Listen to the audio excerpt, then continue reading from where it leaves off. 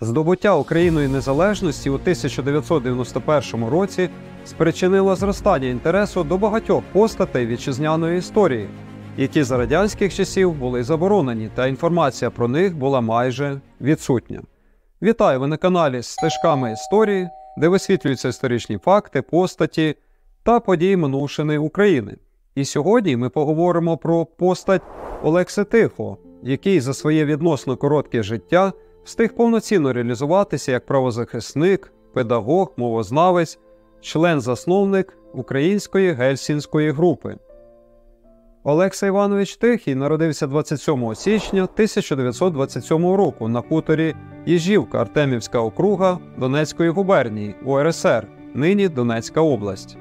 Він крокував звичним шляхом гвинтика СРСР, школа, три дипломи, транспортний, сільськогосподарський інститут, філософський факультет Московського університету. Він міг би мати стрімку кар'єру, але повернувся в село, де викладав історію, був завучем і дуже чесною людиною. У 1948 році вперше засуджений військовим трибуналом Сталінської, нині Донецької області, за критику кандидата в депутати на 5 років позбавлення волі, але військовий трибунал Міністерства внутрішніх справ Українського округу замінив покарання на умовне. Коли у 1956 році під радянськими танками опинилася свобода Угорщини, Олекса Тихий написав свій протест проти агресії, тобто введення військ Варшавського договору в Угорщину, та відправив його в Москву.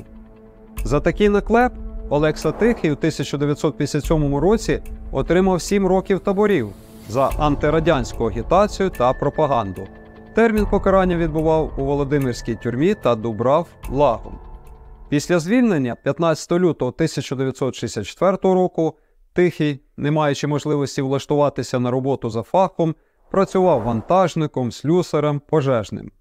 Водночас проводив велику роботу закладання словника української мови, розробив метод навчання без школи, тобто за домашніми завданнями. У своїх публіцистичних творах виступав за відродження української мови та національної культури на Донеччині. Він створив родину, продовжив рід двома синами. Літературна і правозахисна діяльність Тихого стала причиною його другого арешту на початку лютого 1977 року. Справу Тихого було об'єднано зі справою колишнього секретаря парткому спілки письменників України Миколи Руденка. У червні-липні 1977 року під час судового процесу, тобто процес по справі Руденка Тихого в Дружківці Донецької області, Олексія Тихого було звинувачено у антирадянській агітації і пропаганді та у незаконному зберіганні зброї. Йому було підкинуто гвинтівку. У 1977 році усі забугрові радіостанції подавали матеріал про суд над Олексою Тихим і Миколою Руденком. Їх судив закритий суд за створення групи сприяння виконанню гельсінських угод. Прокурор обурено засуджував Олексу Тихого за те, що цей отщепенець і терорист писав статті, де виставлялися вимоги. Хочу, щоб школа виховувала і навчала дітей, які б у майбутньому не стали міщанами і бюрократами, щоб ніхто не сидів у в'язниці за слухання радіоголосів. Найгуманніший суд світу відміряв українцеві 10 років концтаборів. Суд визнав його винятково небезпечним рецидивистом. Місцем покарання визначено табір особливого режиму ЖХ 385 1 село Сосновка в Мордовії, звідки його типували до лікарні в Нижній Тагіл.